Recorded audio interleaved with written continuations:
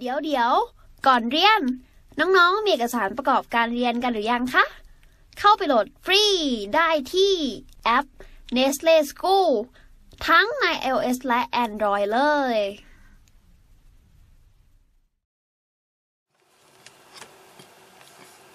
อ่า ข้อ 37 นะครับ น้องคือข้อเนี้ยเออพี่ต้องพูดก่อนว่ามันเป็นเรื่องของเสียงเนอะแล้วก็ข้อแต่ว่าข้อเนี้ยไม่ไม่ต้องมีความรู้ ก็ได้เรียกว่าอะไร คือมันไม่จำเป็นต้องมีใช่ต้องพูดนี้ในข้อนี้เนอะ ซึ่งพี่ว่าความเรียกว่าอะไรข้อข้อเนี้ย ความรู้ที่สามารถรับเอามาใช้เนี่ย มันมันไม่ค่อยได้ใช้สอบด้วยต้องพูดงี้ เออ คือ เดี๋ยวเดี๋ยวดูดูโจทย์เดี๋ยวพี่อธิบายแล้วกันเนอะก่อนอื่นคืออ่านโจทย์ก่อนดีกว่า ตอนนี้อาจจะพูดยากนิดหน่อย เขาบอกว่าผู้กองอ้วนเนี่ยอ่าแต่งกายนอกเครื่องแบบอ่าไปสื่อถูกต้องปะแอบฟังบทสนทนาเนี่ยของผู้ต้องสงสัย X และ Y ในห้องโถงของโรงแรมโรงแรมแห่งหนึ่งกำหนดดังนี้นะครับ ก็เนี่ยคือเป็นกราฟที่เขาให้มา คือน้องน่าจะมีโจทย์ของน้องอยู่เหมือนกันเนอะแต่ว่าเดี๋ยวพี่ซูมให้ คือพี่ไม่สามารถเรียกว่าอะไรอะ เอารูปนี้แยกแยกแยกส่วนได้เพราะมันควรจะเป็นรูปเดียวกันอะคือเขาก็จะเป็นกรากราฟของขีด การได้ยินของผู้กองอ้วนเนอะเขาก็จะเป็นแกน y เนี่ย มันจะเป็นระดับของความเข้มเสียงเนอะเป็นเดซิเบล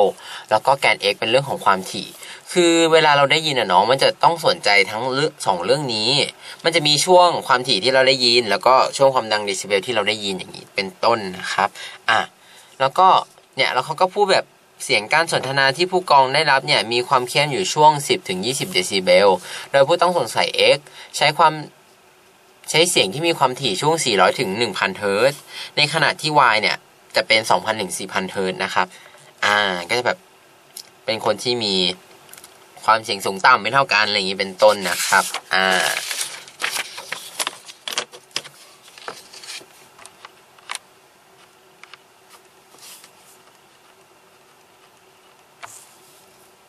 เนี่ยเขาบอกว่าจากกราฟผู้กองอ้วนจะเริ่มได้ยินเสียงใด ๆ ที่มีความถี่ 100 เฮิร์ตเนี่ย เมื่อเสียงนั้นมีคุณ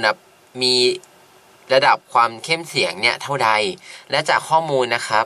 เสียงของผู้ต้องสงสัยผู้กองอ้วนที่มีโอกาสที่จะไม่ได้ยินนะครับ จะเป็นของผู้ต้องสงสัยคนใดเนอะเขาก็จะเป็นเป็นตารางของระดับความเข้มเสียงเดซิเบลกับผู้ต้องสงสัยที่ผู้กองอ้วนไม่ได้ยิน เรามาหาที่ความเข้มเสียงเดซิเบลก่อนดีกว่าว่า ที่ความเข้มเสียงเดซิเบลใดเนี่ยที่ความถี่ 100เฮิร์ตเนี่ยเขาถึงจะเริ่มได้ยินนะครับ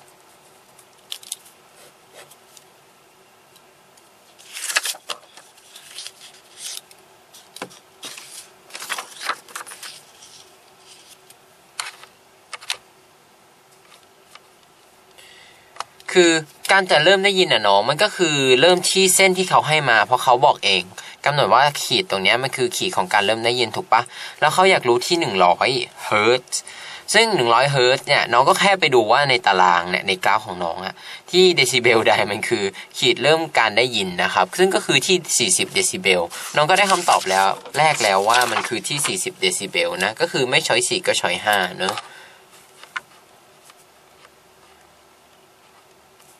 ก็คือน้องก็ตัดข้อ โอเคหนึ่ง สองสามทิ้งได้เลย ทีนี้ก็เหลือช้อยแค่ว่าจะเป็น x หรือ y ผู้ต้องสงสัย x หรือ y ที่เขาไม่ได้ยินถูกต้องปะโอเค น้องก็ไปดูเลยว่า x หรือ y ไม่ได้ยินเนาะเขากำหนดว่า x เนี่ยเขาได้เขามีเสียงช่วงที่ 400 ถึง 1,000 เฮิร์ตตรงนี้เนาะ ในขณะที่ y เนี่ย เป็น 2,000 ถึง 4,000 เฮิร์ตนะครับ อะ ทีนี้น้องก็แค่มาดูว่าช่วง 400 ถึง 1,000 เฮิร์ตเนี่ยเขามีช่วงระดับความดังอยู่ที่ใดเนอะ คือเขากำหนดด้วยว่าผู้กองอ้วนเนี่ยมีระดับความเข้มเสียงอยู่ในช่วงเสียงของการสนทนาที่ผู้กองอ้วนได้ยินเนี่ยมันคือช่วงแบบ 10ถึง20 เดซิเบลตรงนี้เนาะซึ่งน้องต้องเอาสองอย่างเนี้ยมาดูควบคู่กัน น้องต้องดูก่อนว่า 10ถึง20 เดซิเบลมันคือช่วงไหน มันคือช่วงนี้เนาะคือพี่อาจจะวาดช้าแล้วอาจจะพูดช้าหน่อยเพราะว่าปกติพี่จะดูไปพูดไปเนาะแต่อันนี้เนื่องจากมันซูม พี่เลยต้องค่อยๆ พูด ค่อย ๆ เขียน โอเค10ถึง20เดซิเบลก็คือจะมีช่วงนี้เนาะที่ได้ยิน ซึ่งเวลาได้ยินน่ะน้องคือ มันจะต้องเป็นได้ยินที่ ต่ำกว่าขีดเริ่มการได้ยินนะครับน้อง คือถ้ามากกว่ามันจะไม่ได้ยิน เพราะฉะนั้นพื้นที่ด้านบนขีดเริ่มการได้ยินเนี่ยเราจะไม่สนใจเราจะสนใจพื้นที่ด้านล่างปุ๊บปุ๊บตรงนี้ตรงนี้ตรงนี้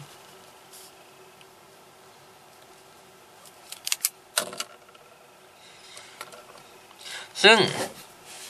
อย่าง x เนี่ยเขาบอกเป็น 400 ถึง 1,000 เฮิร์ตซ์เนอะซึ่งก็คือตรงบล็อกแรกบล็อกนี้ แล้ว y เนี่ยคือ 2,000ถึง4,000เนอะ2,000ถึง4,000มันคือบล็อกนี้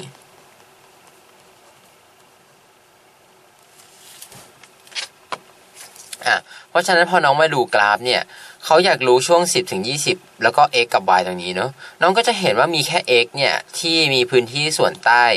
ขีดเริ่มการได้ยิน ในขณะที่ y เนี่ย มันไม่มีเลย เพราะฉะนั้นนะครับคำตอบของข้อนี้คนที่ผู้กองอ้วนน่ะจะไม่ได้ยินอะก็คือมี y เป็นคนเออเป็นผู้ต้องสงสัย y นะครับ ไม่ใช่ x เพราะฉะนั้นข้อ 5 ก็เลยเอ้ยข้อ 37นะครับ ก็เลยตอบข้อ 5 นั่นเองครับผมก็คือระดับความเข้มเสียงเนี่ยจะเป็นที่ 40 เดซิเบล ที่ 100 เฮิรตซ์ถึงจะเริ่มได้ยิน แล้วก็ผู้ต้องสงสัยที่ผู้กองอ้วนไม่ได้ยินเนี่ย จะเป็น Y นั่นเองครับผมอ่า37 นะครับ ก็เลยตอบข้อ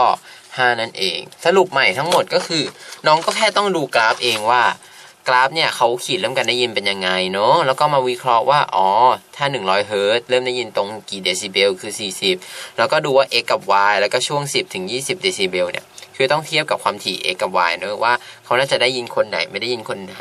ซึ่งก็จะรู้ว่า อ๋อ ได้ยิน x เพราะว่ามีพื้นที่ส่วนที่ต่ำกว่าขีดเริ่มการได้ยิน แล้วก็บริเวณขีดการได้ยินด้วย ในขณะที่ y ไม่มีเลย ข้อ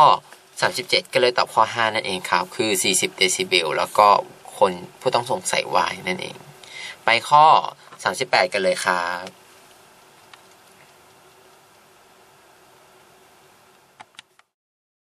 เรียนจบแล้ว อย่าลืม